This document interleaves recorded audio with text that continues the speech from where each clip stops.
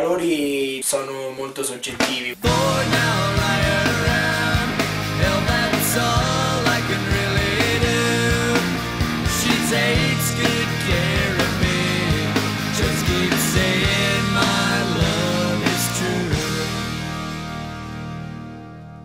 I valori dovrebbero esserci in ogni persona, in ogni ragazzo e io spero che la famiglia sia, sia uno di questi. La famiglia sì è un valore, è un valore importante, perché comunque ci sono persone con cui puoi fare riferimento e non devi dubitarne, senza tanti problemi, capito? Penso che sia una delle cose più sicure che possa esistere, capito?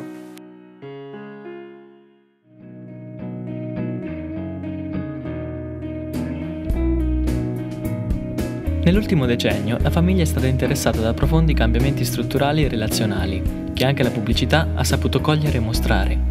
Già nel 1998 un'indagine Istat rivelava l'incremento di nuovi nuclei familiari post-divorzio e piano piano, quella che era l'allegra famiglia del Mulino Bianco, si trasformava in una famiglia monogenitore o come alcuni spot mostrano, una famiglia ricostituita o allargata.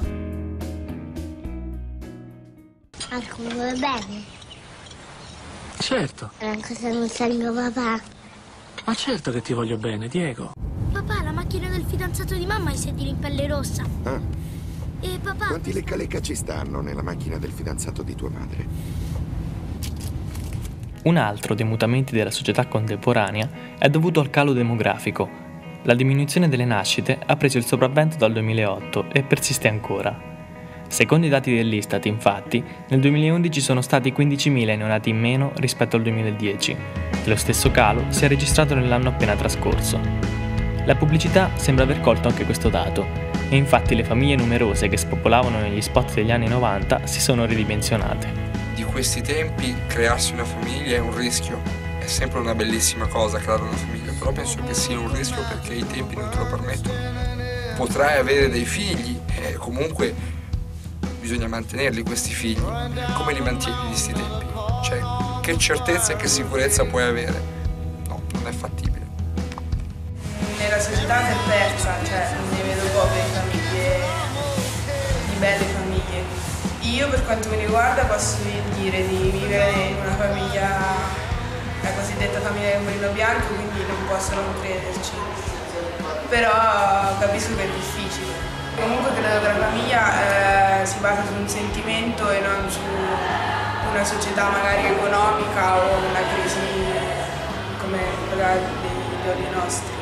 Il calo delle nascite per alcuni è dovuto alle ultime crisi finanziarie che hanno attraversato il nostro paese, le quali hanno anche ridimensionato il desiderio di mettere su famiglia negli italiani.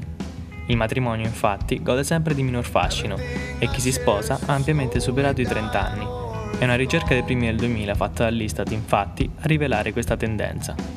Sì, è possibile, però poca gente ci crede. Molte persone non se la sentono. Sempre più trentenni vivono ancora con i genitori. Sentito? Stanno parlando di te. Negli ultimi anni, a questi spot critici ne sono stati affiancati sempre alcuni che incitano, a volte anche esplicitamente, a mettere su famiglia. Questo anche facendo risaltare nel rapporto genitori-figli la componente ludica, trascurando i possibili conflitti che si creano, soprattutto quando i figli sono in età adolescenziale. Ma la famiglia non è cambiata solo nella struttura. Con la progressiva emancipazione della donna e il suo ingresso nel mondo del lavoro, è iniziato ad emergere un significativo numero di coppie egalitarie, caratterizzato da un modello di responsabilità condivisa tra marito e moglie. Di fatto, però, dalla visione degli spot, per l'uomo la casa continua ad essere un luogo in cui rilassarsi, mentre la gestione domestica è vista solo come un'attività ludica da svolgere con i figli. Molti altri sono i temi riguardanti la famiglia e i mutamenti sociali che la pubblicità ha affrontato e continua ad affrontare ancora oggi.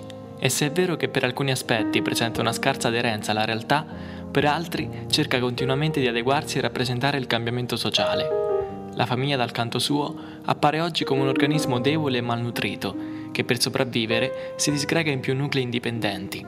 Ma la sua funzione sociale e il suo valore sembrano rimanere nonostante tutto intatti e la fiducia che i giovani ripongono in essa fa sperare in un futuro dove ancora per molto continuerà ad essere un'istituzione il cui compito principale è quello di dare amore e stabilità ai suoi membri.